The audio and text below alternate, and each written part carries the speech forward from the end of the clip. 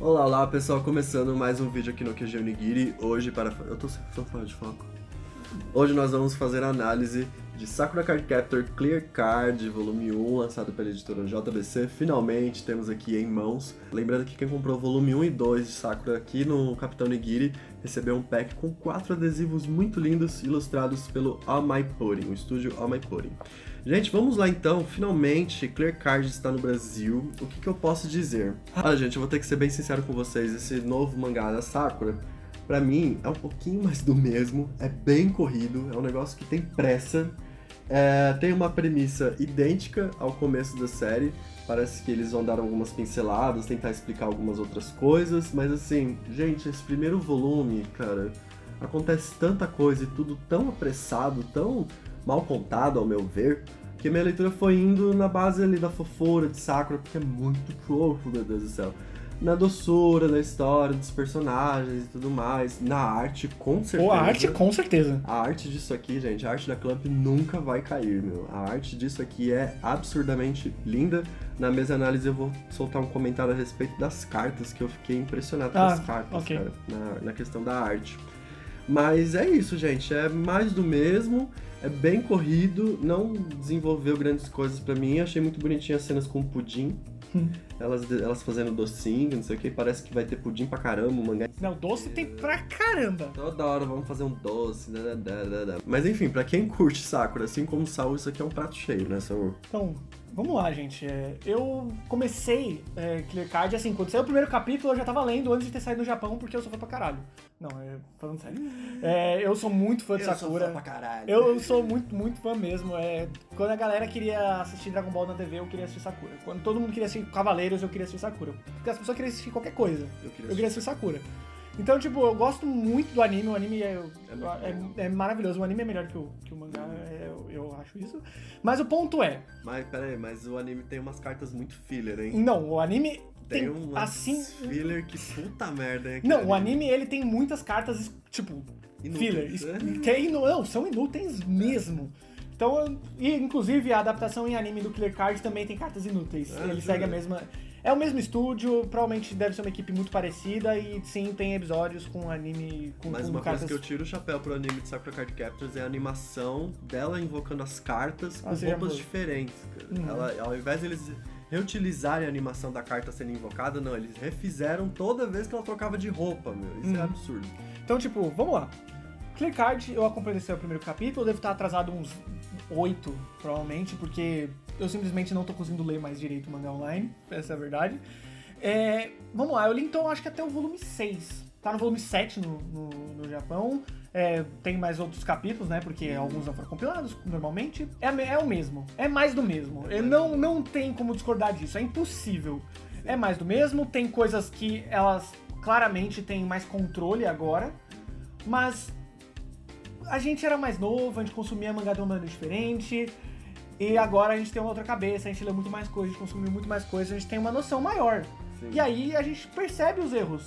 Uhum. Os erros que, pra algumas pessoas, acho que pode até não ser considerado erros, né? Então eu vou, vou falar que pra nós não agrada. Uhum. Como você falou, ele é rápido pra caramba. É Só que em um rápido. momento ele dá uma, ele dá uma desacelerada, é, mas é, vai ser introduzida uma personagem que ela é bastante importante, ela vai ser trabalhada aí dentro do universo, tendo ligações com a Sakura, e outros personagens vêm junto com ela. E a parada é tentar resolver coisas pendentes da série principal. É, já foram é, explicadas algumas coisas que ficaram meio nebulosas da primeira série. Não são explicações lá Plausíveis. não, acho que plausíveis algumas são, mas elas não são impactantes, elas não são muito importantes. Inclusive porque você não vê muita gente falando que assistiu, leu Sakura e faltou contar alguma coisa dentro da história. Exatamente porque a gente não, não importava, sabe?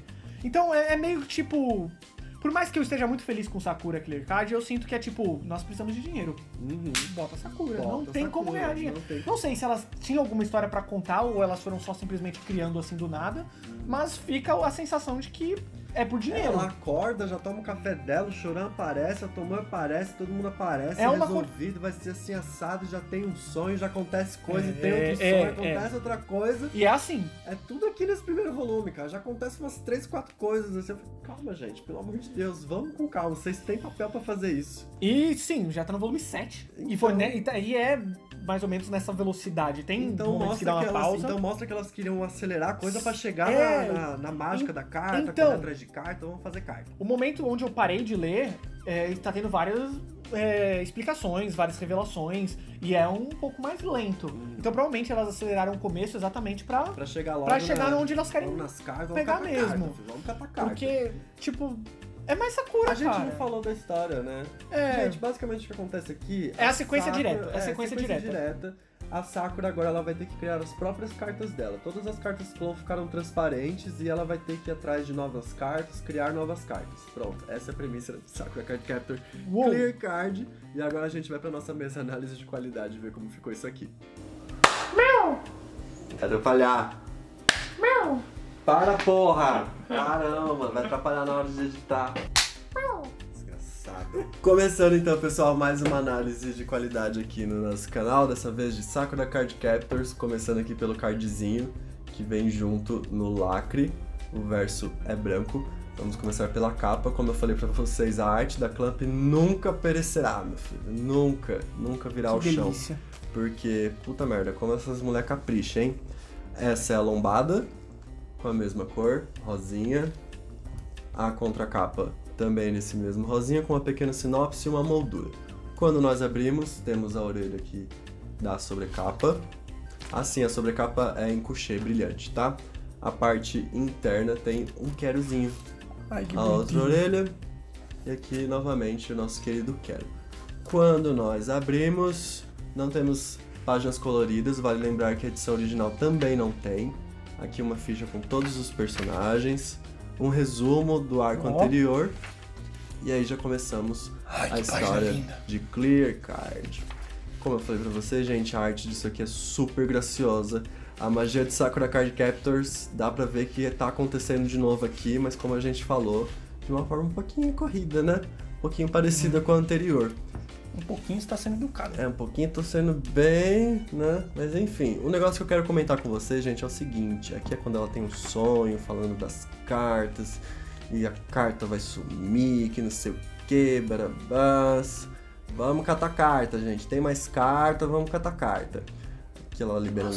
Tô dando spoiler do volume 1 todinho, mas é que eu quero mostrar pra vocês, gente, isso aqui, ó. Ah, as. As novas cartas são transparentes, cara. Olha aqui, ó, vocês estão vendo? Todo o desenho aparece, mas em volta é transparente. Gente, o trabalho que dá isso aqui. Olha aqui, ó, tá vendo? Ó, a transparência aqui no olho da da Sakura. Gente, o trabalho que dá isso aqui é insano. Eu achei isso sensacional. E elas gostam de ter trabalho, pelo visto, né? Adoro. Detalhe? Com elas mesmo. Cadê o Sakura? Sakura Card Captor Clear Card, então é mais um lançamento da editora JBC pelo estúdio Clamp, atualmente com 7 volumes lá no Japão. Aqui no Brasil, nós temos dois volumes lançados. Formato 13.2 por 20, 160 páginas em papel look screen. Capa cartonada com sobrecapa, distribuído para lojas e livrarias especializadas. Classificação livre, preço de capa R$ 26,90. Essa foi a análise de Sakura Card Captor Clear Card. Espero que vocês tenham curtido. Não se esqueçam de deixar o joinha, se inscrever no canal e seguir a gente em todas as redes sociais. Capitão Nigiri e Gabriel Sal agradecendo a todo mundo. Nos vemos no próximo vídeo. Kamiwe, desligo.